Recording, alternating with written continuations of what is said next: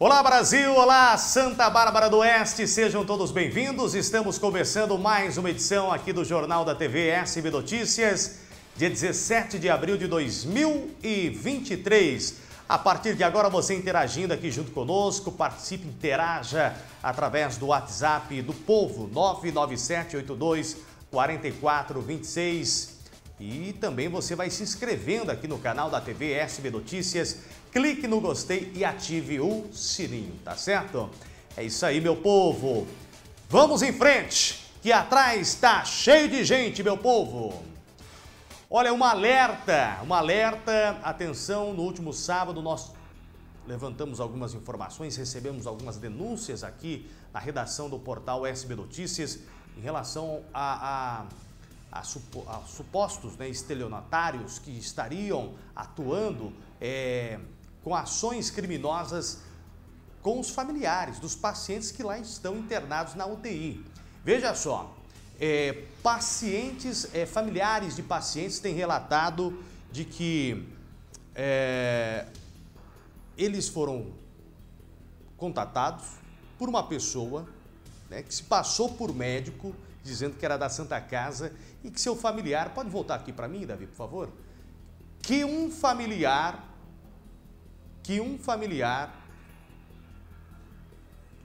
que um familiar recebeu uh, a informação de que eh, um homem, se passando por médico, teria eh, falado o seguinte: olha, eh, sua mãe, o seu pai, o seu irmão está na UTI e nós descobrimos aqui uma bactéria e ele vai ter que fazer uma cirurgia.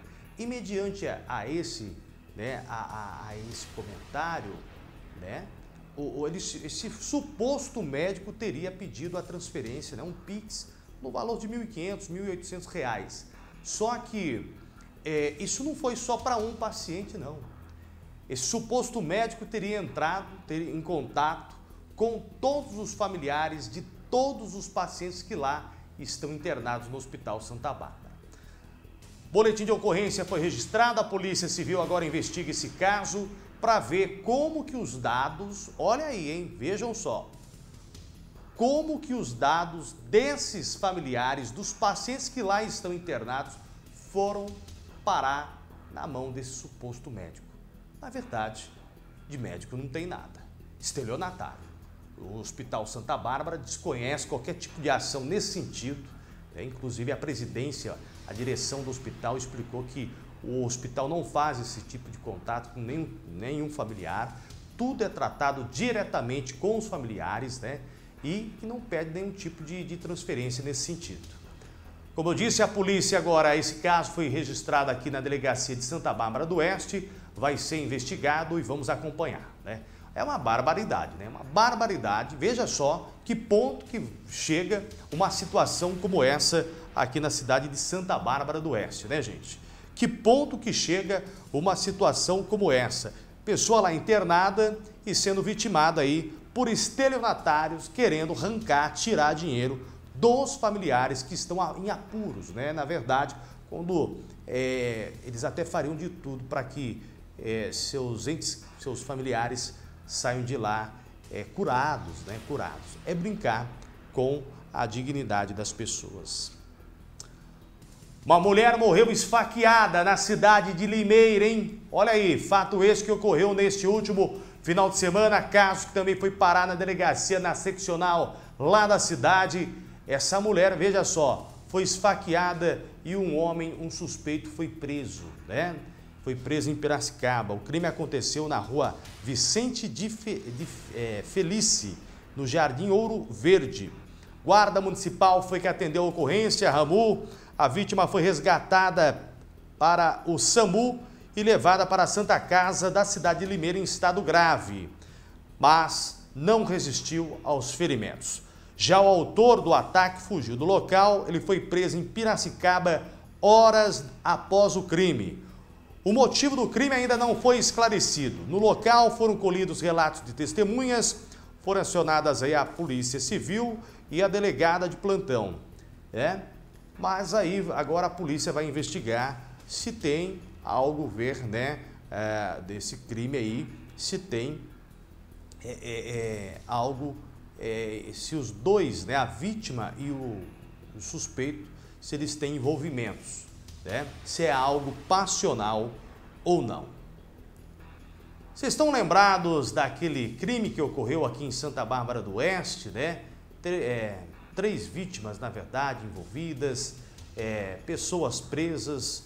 Hoje tem júri popular aqui na cidade, na comarca aqui do município de Santa Bárbara do Oeste. O júri vai analisar o triplo homicídio em Santa Bárbara do Oeste. O homem é acusado de matar três pessoas no Jardim Esmeralda em fevereiro do ano passado. O rapaz de 26 anos está preso. Ele responde pela morte de Afonso Silva e de Matheus Brandon Santana, os dois de 26 anos, e William Lopes Pereira, de 30 anos. Segundo as investigações da polícia, eles foram mortos a tiro. William foi morto após uma briga de bar e Afonso e Matheus depois é, eles tinham testemunhado né, a execução do primeiro. Os corpos das vítimas foram encontrados abandonados no Jardim Esmeralda, em Santa Bárbara do Oeste, e um no Parque da Liberdade, na cidade de Americana. O júri do acusado está marcado, né, neste momento está acontecendo na realidade aqui no Fórum de Santa Bárbara do Oeste. A defesa do acusado afirma que testemunhas ouvidas durante o processo se contradisseram e alegam que a única testemunha ocular afirma ter visto o atirador somente de costas sem reconhecê-lo. Essas são as principais informações, notícias da nossa cidade, da nossa região, do Brasil, do mundo. Obrigado pelo carinho. Boa semana, boa segundona para todos vocês. E amanhã a gente volta, se Deus assim nos permitir, com mais uma edição aqui do Jornal da TV SB Notícias. Mexeu com você, mexeu comigo. Tchau, meu povo. Até amanhã.